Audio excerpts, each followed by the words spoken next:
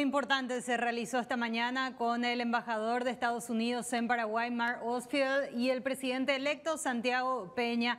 Vamos a ir hasta Claudio Genes, eh, que nos va a contar acerca de este encuentro, donde estuvieron los dos que no pudieron estar en la inauguración de la nueva embajada, que habían sido invitados, pero coincidentemente ambos viajaron. Entonces ahora se dio la visita del embajador en la casa de Santiago Peña. Te escuchamos, Claudio, con esto.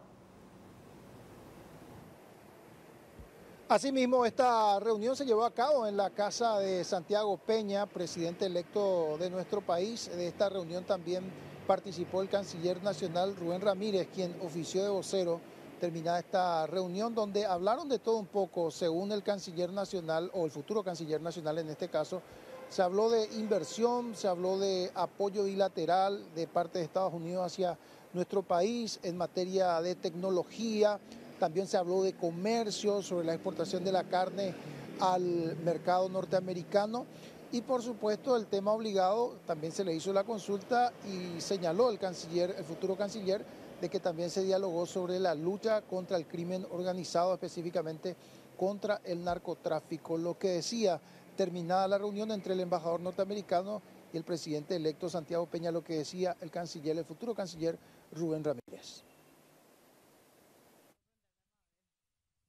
Presidente Santiago Peña fue muy claro en señalar que Estados Unidos es un aliado estratégico para el Paraguay en ese contexto es el trabajo que vamos a desarrollar. Hablamos de varios temas. Eh, hay cuestiones vinculadas con el comercio. Ustedes saben que el tema de la carne es una cuestión del acceso a los mercados, pero no es lo único. Eh, es importante, pero también hablamos del acceso al mercado de Estados Unidos con, con temas eh, más amplios, que obviamente uno de los principales mercados del mundo y por lo tanto recubre un interés significativo para Paraguay.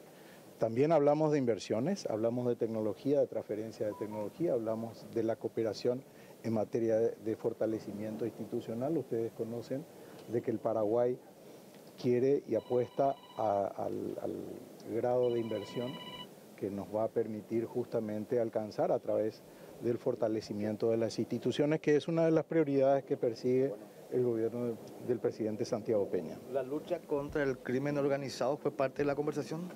Sí, seguridad, los temas relacionados a la lucha contra la corrupción también, el tema del narcotráfico, eh, del terrorismo, forman parte de una agenda muy constructiva donde vamos a ir este, detalladamente trabajando. También en aspectos financieros, en aspectos donde vamos a estar trabajando en distintas áreas de la agenda eh, tan amplia que vamos a desplegar con los Estados Unidos.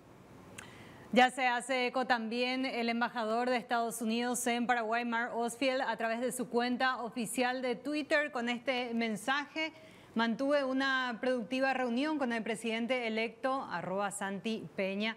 Continuamos conversando sobre nuestras prioridades compartidas desde la lucha contra la corrupción, que es un eje fundamental para Estados Unidos, hasta el desarrollo equitativo de Paraguay, dice también en ese tuit. Espero trabajar junto al presidente electo Peña para fortalecer aún más la amistad histórica y sólida entre los Estados Unidos y el Paraguay y la fotografía de lo que fue esta reunión esta mañana entre Mar Osfield y Santiago Peña.